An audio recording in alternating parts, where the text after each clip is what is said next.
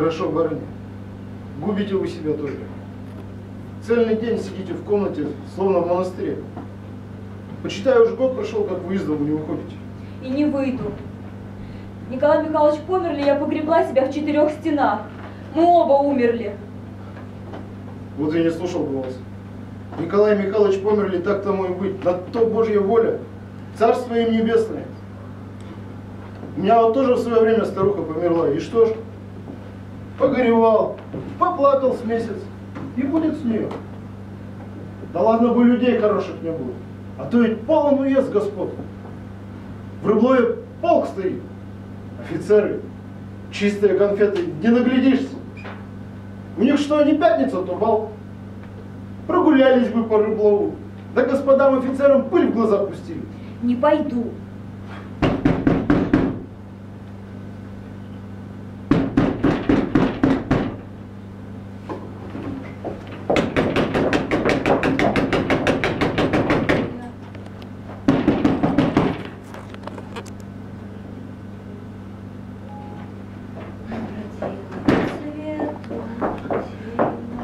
Сударыня, там кто-то спрашивает вас, желает видеть. Но ты же сказала, что со дня смерти мужа я никого не принимаю. Сказал, но он и слушать ничего не хочет. Говорит, что очень нужное дело. Я не принимаю. Да я ему говорил, но он леший какой-то. Ничего не слушает. В комнате прет, в столовой уже стоит. Хорошо, проси.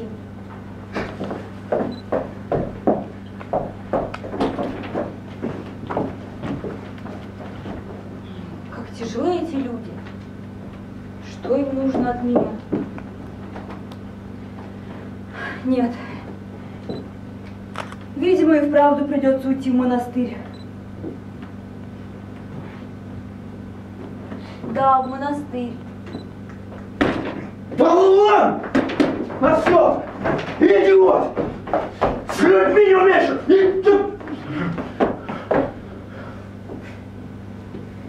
Сударыня, честь имею представиться отставной поручик артиллерии, землевладелец Григорий Степанович Смирнов. Прибыл к вам по вашему делу. Что вам угодно? Ваш покойный супруг, с которым я имел честь быть знакомым, остался мне должен по векселям 1200 рублей. Так как завтра мне предстоит платеж процента в земельный банк, я просил бы, сударыня, выплатить эти деньги сегодня же. 1200? Да. А за что мой муж остался вам должен? Он, он покупал у меня овес. Да, овес. Лука, прикажи на конюшне, чтобы Тоби дали лишнюю осьмушку овса.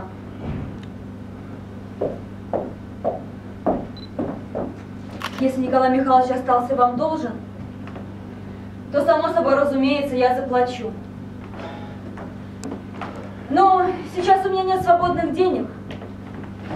Послезавтра вернется приказчик из города, и я попрошу уплатить все, что вам положено. А сегодня, извините, не могу исполнить вашего желания. К тому же сегодня исполнилось ровно 7 месяцев, как умер мой муж. И у меня такое настроение, что я совершенно не расположена заниматься денежными делами. У меня такое настроение, что если я завтра не заплачу проценты, мне, мне придется вылететь в трубу вверх ногами, у меня пишут имение. Послезавтра приказчик вернется из города, и я за- от- отдам вам все ваши деньги. Я приехал к вам, а не к приказчику. На кой леший, извините за выражение, остался мне ваш приказчик? Извините, милостивый государь, но я не привыкла к этим странным выражениям и такому тону. Я вас больше не слушаю.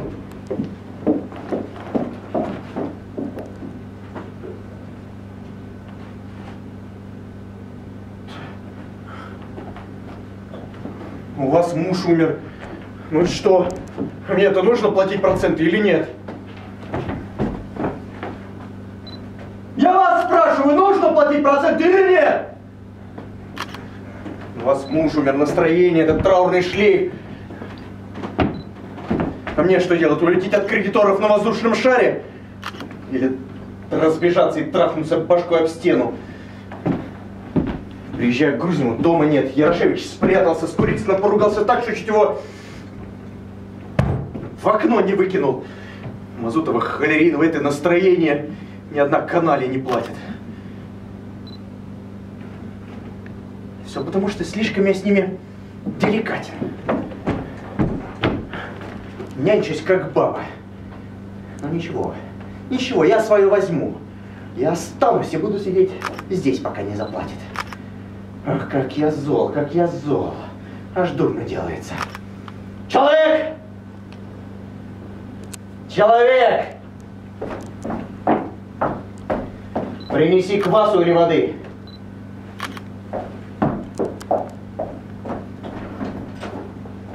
Ну, какова логика? Человеку нужны это зарезу деньги в пору ведь или не платит, потому что не расположена заниматься денежными вопросами. Настоящая женская турнюрная логика. Поэтому я никогда не любил и не люблю общаться с женщинами. Мне легче сидеть на бочке с порохом, чем общаться с этим поэтическим созданием.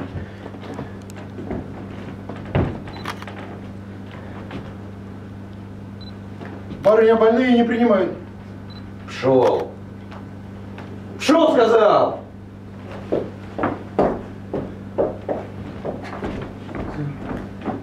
Больные не принимают.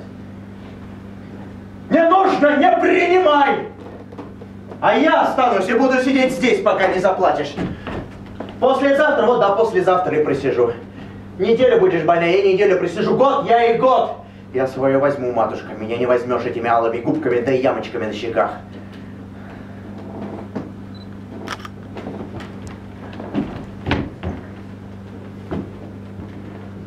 Семен! Распрягай, мы не скоро уедем. И чтобы на конюшне лошадям овсу дали. Слушай, скотина! Скотина!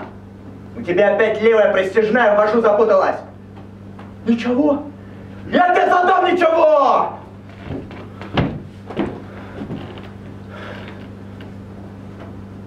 Скверно. Жара невыносимая. Денег никто не платит.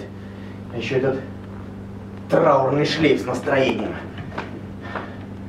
Аж голова разболелась. О, надо водки выпить. Человек!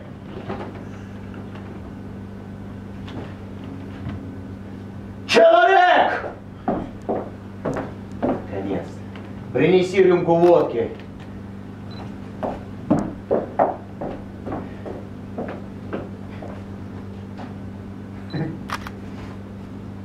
Тоже хороша фигура. Весь мятый, в пыли. Сударыня, чего доброго меня за разбойника приняла. Как-то неловко являться в гости в таком виде. А впрочем, я не в гости приехал. Да. А кредиторам костюм не писан.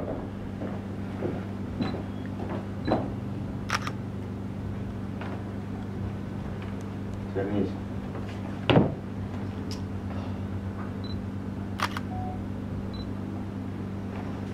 Много вы себе позволяете, сударь. Что? Что? Молчать!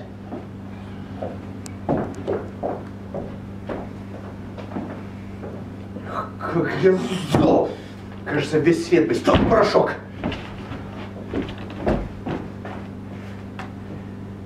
Человек! Человек! Человек! Милостивый государь.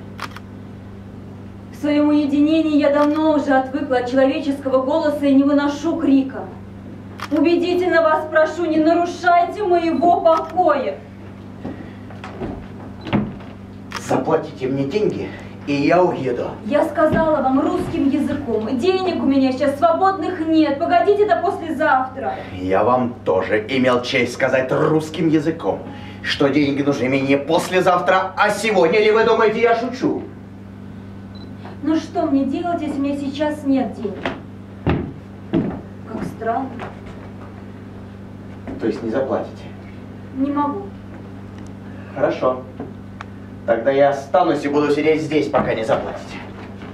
Послезавтра Вот до послезавтра и просижу. А вот таким образом.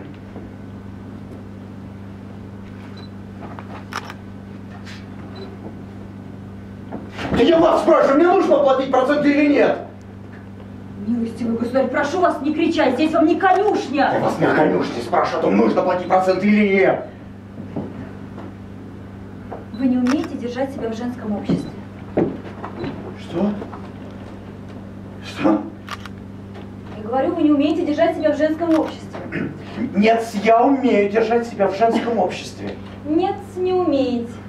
Вы невоспитанный, грубый человек. Порядочные люди так не разговаривают с дамами. Ах, удивительное дело. Как же прикажете с вами разговаривать? По-французски, что ли? Мадам Жувапри, я так счастлив, что вы не платите мне денег. Ах, пардон, что обеспокоил вас. Сегодня такая прелестная погода, этот траур так к лицу вам. Неумно и грубо. Неумно и грубо. Я не умею держать себя в женском. Я, я не... Сударыня, да у меня женщин было больше, чем вы видели воробьев. Из-за трех женщин я дрался на дуэли. 12 женщин бросил я, 9 бросили меня. Было время, когда я страдал, вздыхал на луну, раскисал, таял, холодел, прожил на нежном чувстве половину своего состояния. Но теперь, теперь довольно. Очень жгучие, очень страстные ямочки на щеках. За все это, сударыня, и гроша медного не дам. Я не говорю о присутствующих, но все женщины без исключения ломаки, кривляки и сплетницы. А что касается вот этой штуки, извините за откровенность, воробей любому философу в юбке даст 10 очков вперед. Взглянешь на очередное поэтическое создание. Кисия, эфир, полубогиня. Заглянешь в душу обыкновенный крокодил. Но самое возмутительное, что этот крокодил почему-то воображает, что его монополия, его привилегия это нежное чувство. Да черт подери совсем, повесьте меня вот на этом гвозде. Разве женщина умеет любить кого-нибудь, кроме баллонок? В любви она умеет только хныкать да распускать нюни. Там, где мужчина страдает и жертвует, вся ее любовь выражается лишь в том, чтобы вертеть шлейфом и стараться как можно крепче схватить за нос. Вот скажите по совести, видели ли вы женщину, которая была бы верна и постоянна? Не видели, потому что верны и постоянны старухи да уроды. Вы скорее встретите рогатую кошку, чем постоянную женщину. Позвольте, а кто же, по-вашему, верен и постоянен в любви? Не мужчина ли? Именно, мужчина, только мужчина, верен и постоянен в любви. Мужчина верен и постоянен в любви. Да. Скажите, какая новость?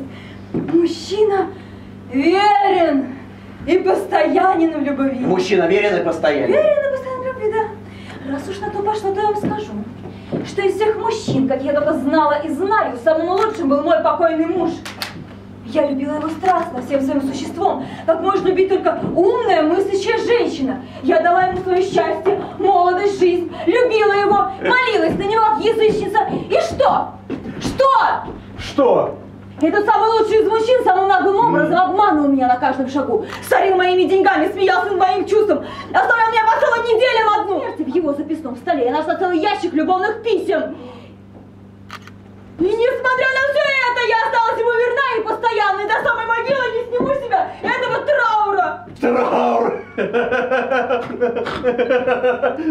Да за кого вы меня принимаете? Неужели вы думаете, я не знаю, зачем вы носите это черное добино и погребли себя в четырех стенах? О, конечно, это так поэтично. Вы погребли себя заживо, однако вот напудриться не забыли. Что?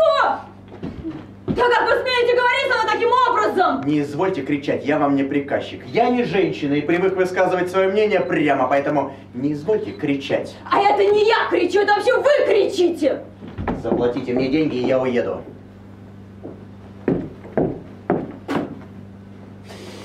Вот назло же вам!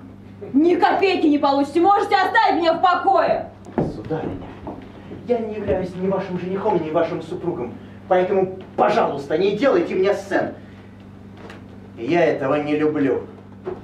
Я не желаю разговаривать с нахалами, извольте убираться вон! Заплатите мне деньги, и я уеду. То есть вы не уйдете? Нет, Нет? нет. Хорошо.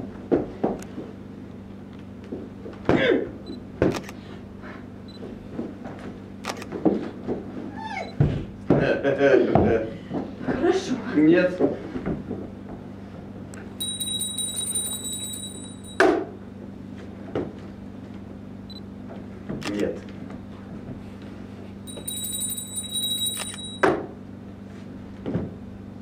Нет.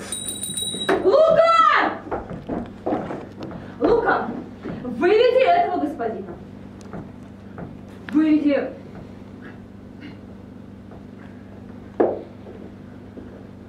Сударь, э, и извольте уходить, когда велят. Нечего тут.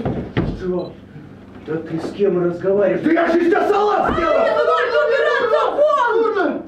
Извольте быть повежливее. Вы, вы мужик, грубый медведь, вы бурбон, вы... Монстр! Что? Я сказала, что вы медведь, бурбон и монстр! Сейчас позвольте, какое же вы имеете право оскорблять меня? А вы что, думаете, я вас боюсь? Бурбон, вы этакий! Вы думаете, если вы женщина, слабое создание, то имеете право безнаказанно оскорблять меня, да? А если вы думаете, что у вас здоровые кулаки и бычье горло, то я вас боюсь! Я никому не позволю оскорблять себя. Я не посмотрю на то, что вы женщина. Слабое создание.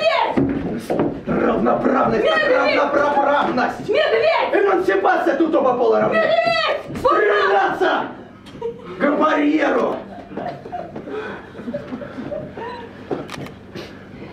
Стреляться хочу! Стреляться сию минуту! Хорошо. После мужа остались пистолеты, я принесу их сейчас сюда. Давайте! Но с каким наслаждением я влеплю пулю ваш медный лоб! Черт вас возьми! Пристрелю ее из принципа. Я не мальчишка и не сентиментальный щенок. Для меня не существует этих слабых созданий. Эмансипация так эмансипация, тут оба пола равны. А, какова равноправность. Пристрелю ее. А, какова женщина-то? Раскраснелась, вызов приняла. Черт возьми, не успокойся, пока не пробью вашего медного лба. Первый раз вижу такую. Это женщина. Это настоящая женщина. Не размазня, не кислятина, а огонь, порох, ракета. Даже убивать жалко. Помилосердствуй. Она мне нравится. Черт возьми. Уезжай. Эти ямочки на щеках. Уезжай. А нравится. Ой, Уезжай. и злость прошла. И долг готов простить. Удивительная женщина. Вот они, пистолеты. Но прежде чем будем драться, извольте показать мне, как нужно стрелять. Я... Спаси, Не Господи, помилуй. Пойду кучера из садовника позову. Он навязался на Я ни разу в жизни не держала в руках пистолет. Есть раз- различные револьверы. У вас системы с Смит и Вессон тройного действия с экстрактором. Пистолет нужно держать так. Глаза, глаза. Удивительная женщина. Так, Да, так. Вытягиваете ручку, отклоняете голову, прицеливаетесь, нажимаете на курок. Самое главное правило дышать ровно, не переживать и стараться, чтобы не дрогнула рука. в комнатах стреляться неудобно, пойдемте в сад. Пойдемте в сад. А, Только, знаете, я, я выстрелю в воздух. Этого еще не доставало. Почему? Потому что... Это мое дело, почему? А, вы струсили, да? Струсили? Нет, сударь, вы не виляйте. Я не успокоюсь, пока не пробью вашего лба. Вот этого медного лба, который я так сильно ненавижу. Струсили? Да струсил! Струсил. Лжете. Почему вы не хотите драться?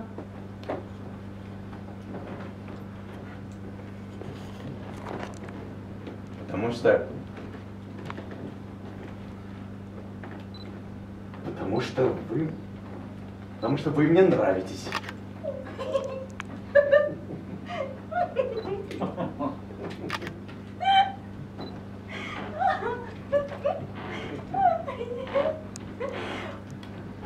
Он смеет говорить мне, что я ему нравлюсь. К барьеру.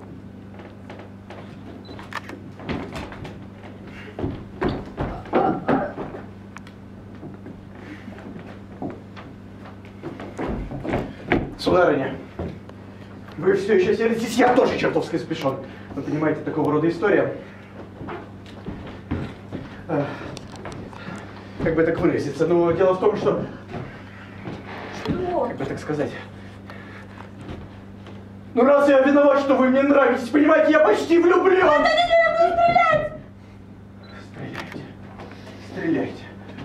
Вы не понимаете, какое удовольствие умереть под взглядом этих чудных глаз. От револьвера, который держит эта нежная бархатная ручка. Думайте, решайте. Я дворянин, порядочный человек, имею 10 тысяч годового дохода. Попадаю пулей в подброшенную копейку, имею отличных лошадей. Хотите быть моей женой?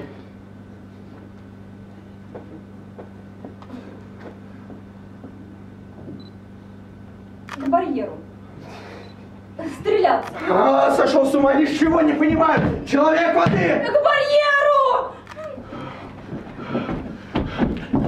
Я люблю вас.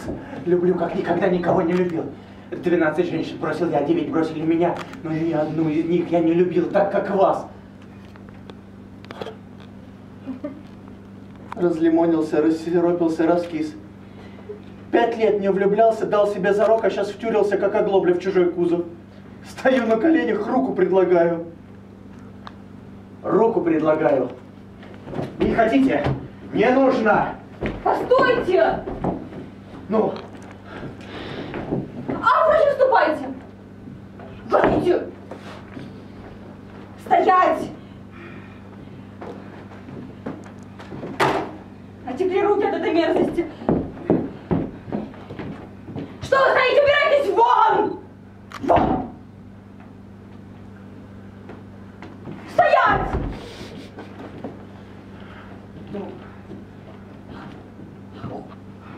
Вон! прощайте! Прощай, стоять, я сказал! Как я зол. А, Как я зол. Как я зла. Влюбился, как мальчишка, как гимназист, стоял на коленях, руку предлагал, аж мороз по коже дерет.